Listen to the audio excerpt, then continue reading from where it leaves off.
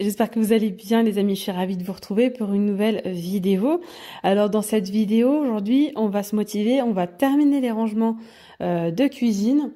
Je vous ai partagé pas mal de rangements, hein.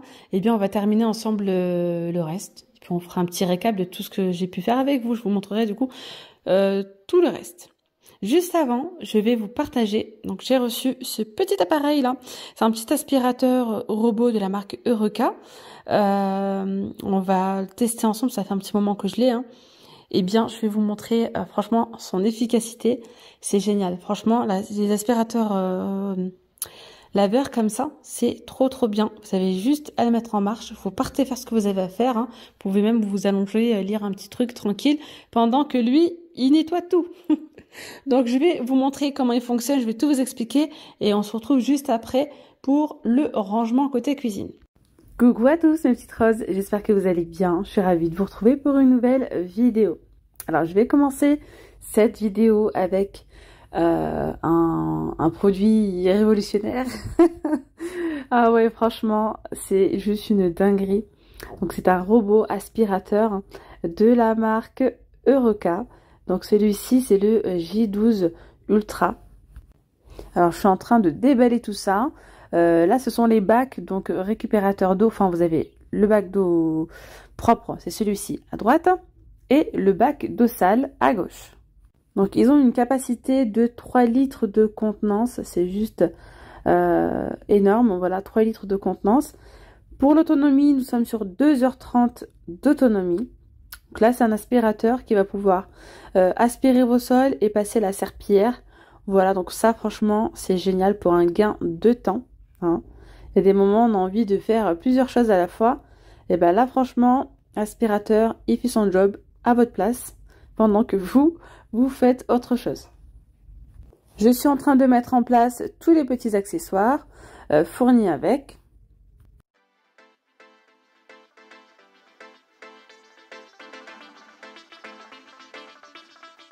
Ici, on a l'emplacement pour mettre donc le petit sac euh, donc euh, pour récupérer les poussières, etc. Et on a un deuxième donc qui est fourni avec.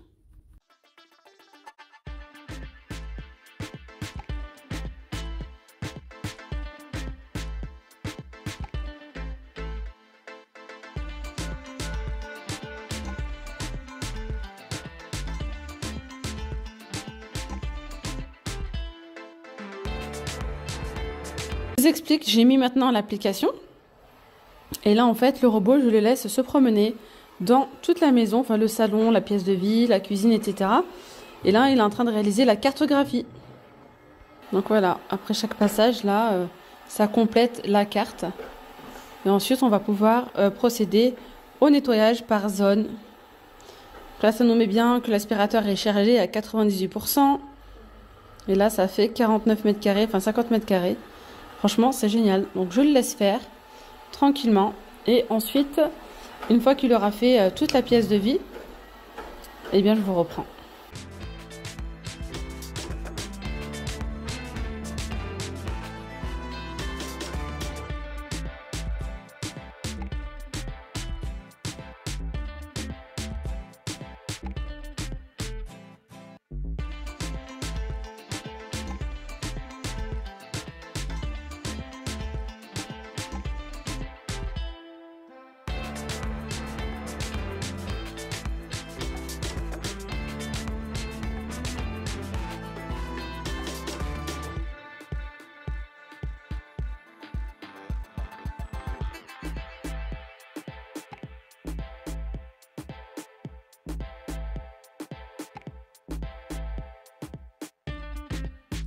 Donc là maintenant l'aspirateur va dans sa base de charge pour nettoyer les serpillères et reprendre son cycle de nettoyage.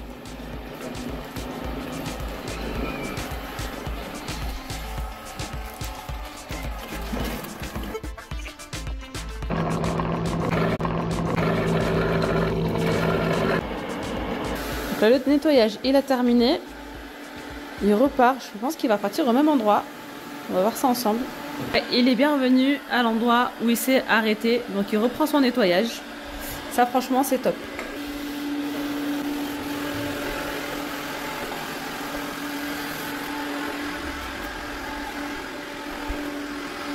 Ce qui est vraiment génial, c'est qu'ici avec l'application du coup, avec la cartographie, on voit exactement euh, où est-ce que le, le, robot est passé. Et vraiment c'est très précis donc là, il y a les emplacements des canapés sur la cartographie, tout. Enfin bref, c'est vraiment super bien. Dès qu'il n'y a plus d'eau, dès qu'il faut vider le réservoir, il repart dans sa base de charge et il reprend automatiquement euh, son chemin. il continue au même endroit. Franchement, il n'oublie aucun recoin. Regardez là toutes les miettes qu'il y a donc en dessous de la table. Il va faire vraiment le tour euh, des pieds de table. Il va vraiment ramasser absolument tout. Voilà, c'est top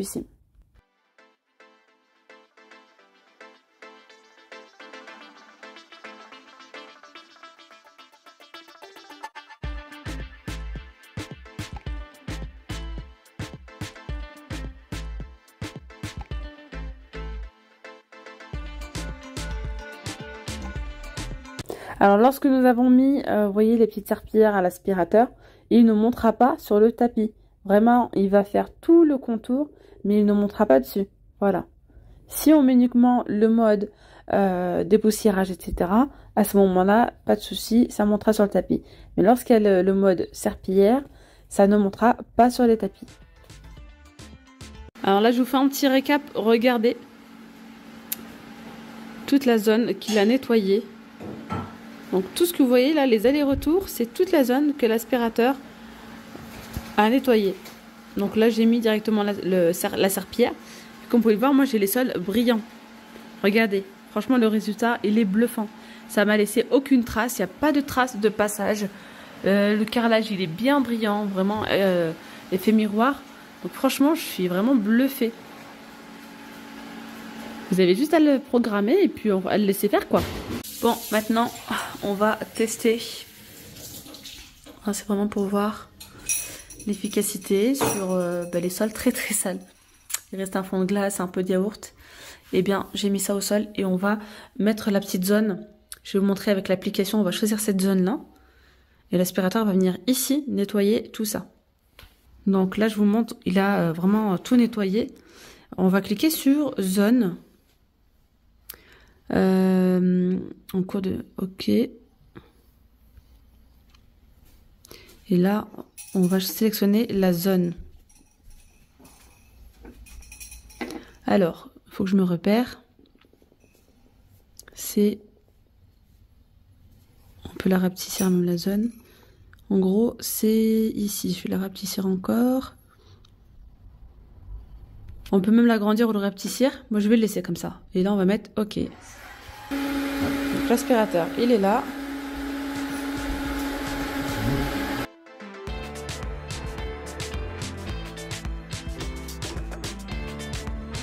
Donc là, vous voyez, ça nettoie très bien la zone que j'ai sélectionnée. Donc ça a bien euh, nettoyé, mais quand même, hein, ça a laissé un petit peu de traces parce que ben voilà, le yaourt c'est gras, euh, la glace aussi. Mais par exemple, s'il y a euh, des miettes, des miettes, ou ça peut être du riz, ça peut être, je sais pas moi, un verre d'eau qui s'est renversé, tout ça, ça peut être vraiment pas mal. Allez, maintenant on va vider ensemble le réservoir d'eau sale, c'est très simple. Il y a juste à soulever comme ceci, vous voyez, on voit bien que l'eau est sale.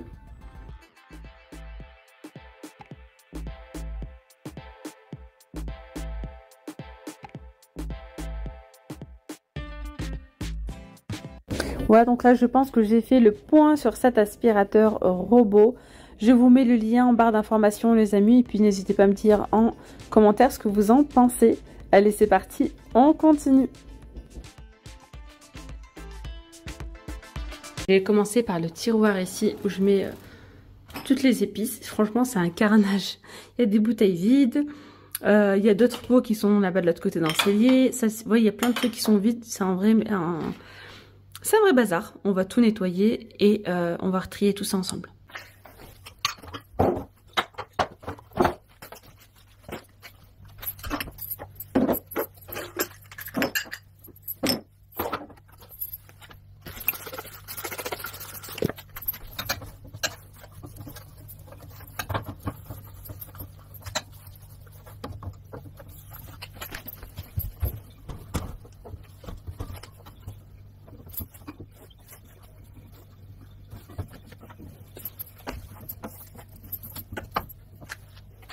Alors maintenant, on va passer au remplissage de ces bouteilles. Ces bouteilles, je les ai, euh, prises sur le, site Temu. Donc la première bouteille que je vous ai montrée, qui n'est pas tout à fait remplie, c'est de l'huile de sésame. Donc là, je remplis avec l'huile de tournesol, ma deuxième bouteille.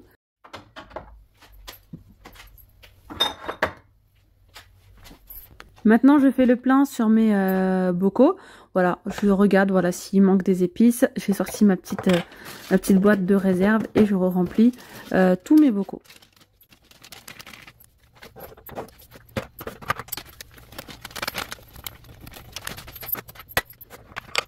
J'aime trop celui-ci là. Vous avez quatre petits pots comme ça en acrylique avec la petite cuillère. Celui-ci en fait, euh, j'aime beaucoup l'utiliser. Parfois je le laisse même comme ça sur le plan de travail. Je mets les quatre épices que j'utilise souvent, paprika, euh, le gingembre, le curcuma et le cumin. Ça m'évite de sortir euh, tous les bocaux quoi.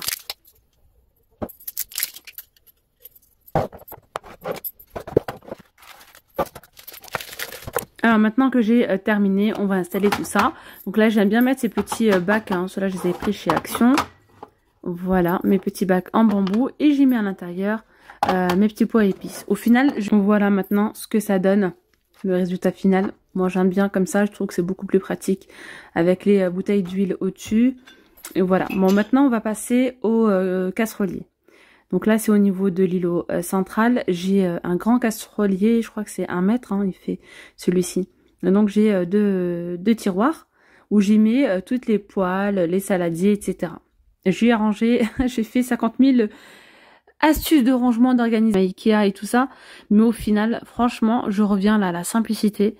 Euh, je trouve que c'est le truc le, le, plus simple en fait.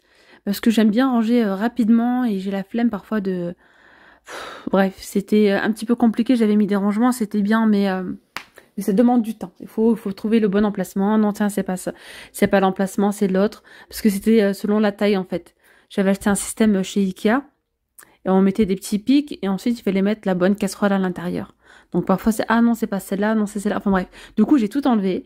Là j'ai mis un petit euh, tapis antidérapant qui provient de chez Action. Et je vais tout simplement empiler comme ça mes saladiers euh, par taille. Voilà, je trouve que c'est beaucoup plus pratique. Dans le, dans le bac du bas, le panier, euh, le panier, le casserolier du bas, je vais y laisser uniquement les saladiers, mes petites boîtes aussi en verre, et euh, la petite passoire. Voilà. Franchement, il est grand, donc j'ai pas mal d'espace. Là, vous voyez que les saladiers, c'est pas ce qui me manque, mais j'aime bien en avoir euh, beaucoup. Après, enfin beaucoup. C'est quelque chose que j'utilise souvent, parfois pour les marinades, pour les gâteaux, etc. Et, euh, et ça sert, ça sert, voilà, pour les salades aussi. Regardez au-dessus. Donc là, vraiment, c'est un mélange de plein de choses. Les petites boîtes de lunchbox, les couvercles pour les boîtes. Enfin bref, c'est vraiment un vrai carnage. Donc là, je range tout. Là, ces derniers temps, franchement, j'ai laissé aller. Et euh, c'était la flemme, la flemme de ranger. Je mettais un petit peu partout. Enfin, parfois c'est moi et parfois c'est mon mari aussi. Hein. Il participe beaucoup à ça. et quand je sais que je vais ranger prochainement le casserolier, je me dis c'est bon, c'est pas grave. De toute façon, je vais faire le point dans pas longtemps. Donc voilà, vous savez, le petit tapis noir, c'est celui-ci dont je vous parlais de chez Ikea. Et normalement, on fait les mettre des petits picots. Et après, vous empilez, enfin, vous mettez les casseroles dedans. J'ai enlevé les picots, ça m'a saoulé, clairement. Puis n'hésitez vraiment pas à trier. Il n'y a pas de secret. Plus on a de, choses, plus on a de, casseroles, de poêles, etc. En plus, on n'a pas forcément euh, l'utilité d'avoir tout ça. Et euh, ça prend juste de la place et ça nous fait juste du bazar comme ça dans les, placards. Donc là, franchement, euh, après, il faut prendre en considération que c'est bien quand même d'avoir les choses un peu, bon, je vais pas dire en double, mais je sais que moi, souvent, parfois, c'est au lave-vaisselle, comme là, là, j'ai encore deux, trois choses qui sont dans le lave-vaisselle. Donc je leur ai laissé la place. Et au moment, voilà, quand c'est la vaisselle, j'ai de quoi cuisiner euh, avec autre chose. Donc voilà, ce que j'ai fait, c'est que j'ai trié. Ce que je viens de vous montrer là, c'est ce que j'ai enlevé. J'ai enlevé un faitout et, euh, et deux poils. Voilà. Et là, j'ai mis euh, ma gamme là, là cette gamme là bleue là. Elles sont trop trop bien. D'ailleurs, il y a la sauteuse et la poêle qui est au lave-vaisselle. Et en bas, j'ai mis donc les, les saladiers. J'ai également laissé la place pour mettre ma petite passoire. Voilà la passoire qui est donc là en train de se laver aussi au lave-vaisselle. Et là, je viens y placer tout simplement mes petites boîtes. Sachant que j'en ai mis pas mal aussi dans le cellier, dans les grosses boîtes, je les ai mis dans le cellier. Euh, voilà.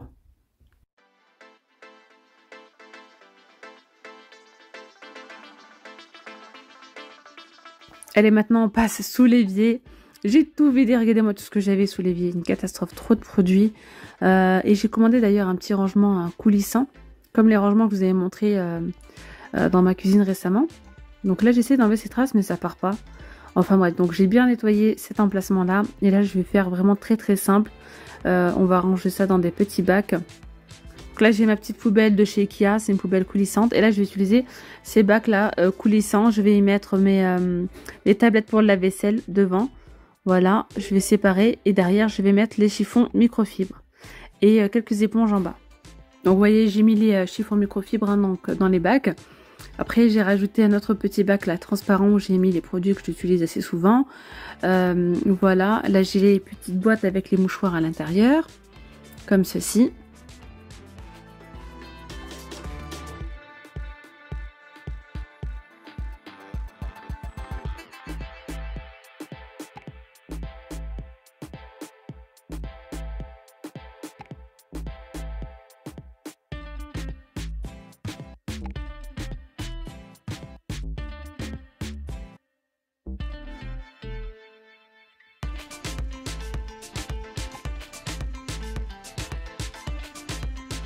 Alors là, j'ai mon petit rangement euh, d'angle. J'y mets euh, tout ce qui est robot. Euh, donc j'ai mon petit robot multifonction. Je le mets là. J'ai également mis ici dans un petit bac le petit mixeur là de chez Action. Mon presse agrumes ici, enfin centrifugeuse plutôt. J'ai laissé ce, rangement que pour les robots ménagers. Bon, je vous fais un petit récap euh, des rangements cuisine. Donc là, c'est bon, j'ai euh, sorti, euh, j'ai rajouté ma poêle et ma casserole hein, du lave-vaisselle. Donc là, c'est au complet. voilà, pareil, en bas, j'ai rajouté ma petite passoire. Donc là, franchement, vous voyez, on y voit plus clair, c'est plus fluide. franchement, je suis vraiment contente des du résultat. Donc ça, je vous l'ai déjà montré l'autre fois. Franchement, c'est une très bonne alternative, ces tiroirs. Ça tient très très bien, sans perçage. Ici, dans cette boîte à mouchoirs, j'ai mis les petits sachets alimentaires, là. Voilà, en plastique. J'ai mis tout ce qui est papier aluminium, etc. Euh, dans ce tiroir-là, j'ai mis euh, les pâtes à tartiner et les céréales pour le petit déjeuner. Les torchons dans celui-ci. Ensuite, là, on a le tiroir pour les épices. Ensuite, celui-ci, ce casserolier, j'ai mis euh, les, assiettes. Voilà, comme ça, les assiettes et les bols aussi, pas quelques bols. ici, c'est mon petit espace, je dirais, spécialité. voilà, avec que des rangements de chez Action. Au-dessus, là, euh, j'ai mis euh, essentiellement des petits ramequins et des bols. Ici, il y a des verres. Voilà, les verres, les tasses, etc. Ensuite, dans celui-ci, j'ai laissé la vaisselle euh, pour les invités, je dirais, hein, les belles assiettes, etc. les verres à thé aussi. Là, j'ai mis aussi un tiroir coulissant. Ils sont trop, trop bien. Ceux-là, je les ai pris sur Chine. Euh, j'ai mis les petits bacs transparents, une avec les boîtes euh, lunchbox et l'autre avec les gourdes. Là, c'est tout ce qui est piché. Euh, voilà, j'ai mis quelques petits plateaux sur le côté. Et bien voilà les amis, la vidéo elle arrive à sa fin. J'espère que cette vidéo rangement, organisation vous aura plu. Je vous dis donc à très vite pour une nouvelle vidéo dans ce genre. Il y a une vidéo bientôt qui arrive, toujours avec l'organisation et rangement. Donc restez bien à l'affût. N'hésitez pas à activer la petite cloche hein, de notification. Je vous dis à très vite. Gros bisous. Bye bye.